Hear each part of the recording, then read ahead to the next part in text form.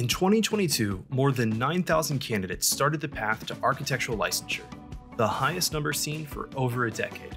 With over 35,000 candidates working to become an architect in the US, a 9% increase, and 3,400 earning a license, the licensure pipeline is recovering from the COVID 19 pandemic.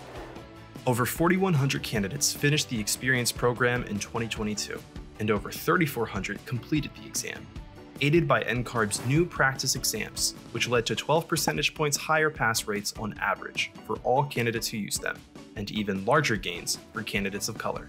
Diversity in the architecture profession continues to improve, especially at early career stages.